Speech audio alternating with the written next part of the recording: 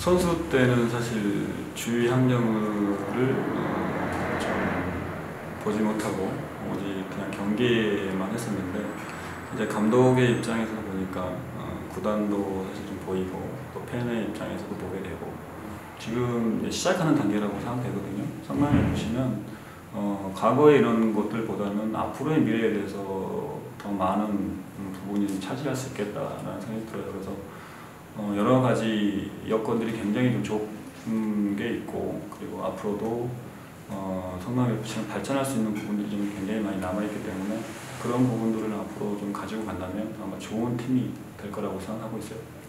근데 사실 막상 이 일부 일부에 이부 떨어지게 되면 올라오기는 사실 굉장히 좀 쉽지는 않다 그런 생각이 들었고 마지막까지 가서 정말 많은 노력들을 했지만 그런 아직까지 그런 경험들이 없기, 없다 보니까 좀 이겨낼 수 없는 어, 이길 수 이겨낼 수 있는 그런 내성들이 좀 아직은 좀 부족하다 이렇게 좀 생각이 들어요.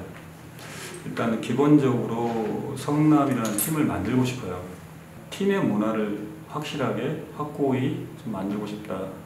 항상 빨리 올라가는 것도 빨리 내려오게 되고 어, 뭐든지 서두르다 보면 항상 좀 탈이 나는 거, 음, 부분이 있거든요. 근데 물론 그렇다고 해서 뭐 천천히 올라가자는 그런 얘기는 아니고 충분하게 팀을 강하고 단단하게 만들어야 또 일부러 올라갔을 때 어, 항상 거기 위치에 또 성남 FC만의 축구를 계속 하고 있을 거라고 생각되거든요. 그래서 어, 조금 서두르지 않고 항상 뭐 구단과 그리고 선수단과 또 팬과 함께 어, 팀을 좀 만들고 싶다.